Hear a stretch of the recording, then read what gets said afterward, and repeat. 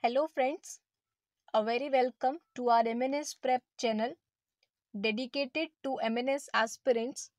This is part 9 of General Knowledge for MNS 2022 and in this video we are going to cover 9 most important questions from General Knowledge. Okay, so let's get start. Already part 7 and 8 is provided. You can check it on our channel playlist of General Knowledge okay. So, question number first is swathling cup is associated with? Generally आपके एम exam में trophies and cup से related question पूछे जाते हैं।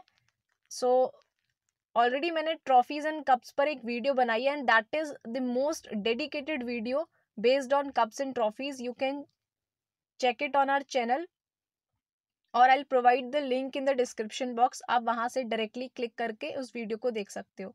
उसमें सारे important cups हैं एंड वीडियो जो है वो ऐसा नहीं है कि उसमें मैंने फालतू के क्वेश्चन एडअप किए हैं। ठीक है? तो जो भी इम्पोर्टेंट कप्स हैं एंड रिलेटेड स्पोर्ट्स है वो मैंने प्रोवाइड किए ओके सो इसका जो करेक्ट आंसर है that is option B table tennis तो स्वैथलिंग कप ये किस स्पोर्ट्स से रिलेटेड है? Related to table tennis okay Next is question number two. Which gas is commonly used in balloons and airships? इनमें से कौन सी gas है जो कि बैलून्स फिलअप करने में एंड एयरशिप्स में यूज़ होती है? एरोप्लेन्स में। तो इसका जो करेक्ट आंसर है that is option B helium helium एक नोवल गैस है।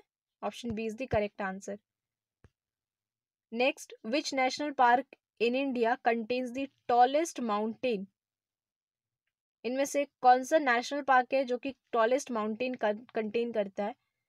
तो इसका जो करेक्ट आंसर है that is Kanchenjunga national park. So Kanchenjunga national park it is in Sikkim. Kanchenjunga national park in Sikkim. Next question number four what does bird stand for bird की आपसे full form पूछी है। So the correct answer for this question is option B, Banker Instituted of Rural Development. Banker Instituted of Rural Development. Option B is the correct answer. Next question number fifth. Half Nelson is usually used in which sports? Half Nelson. Half Nelson ये किस sports से related term है इसका जो correct answer है that is wrestling option C is the correct answer wrestling jab एक word है, वो भी रेसलिंग से रिलेटेड है। और boxing jab is word related to wrestling और boxing next question number six which stock exchange has the nickname big board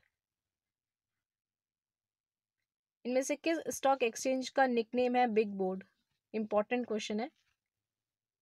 Correct answer is New York stock exchange option A is the correct answer next question number seven the fertile land between two rivers called ये भी एक important question है geography से। ऐसे question आपके MNS exam में generally पूछ लिए जाते हैं। तो इसका जो करेक्ट आंसर है that is Doab. Option C is the correct answer दो रिवर्स के बीच में जो फर्टाइल लैंड होता है that is known as Doab. Next question number eight. In which city have the Asian Games been held the most number of times? इनमें से किस सिटी में सबसे ज़्यादा एशियन गेम्स कराए गए हैं नंबर ऑफ़ टाइम्स तो इसका जो करेक्ट आंसर है that is Bangkok option D is the correct answer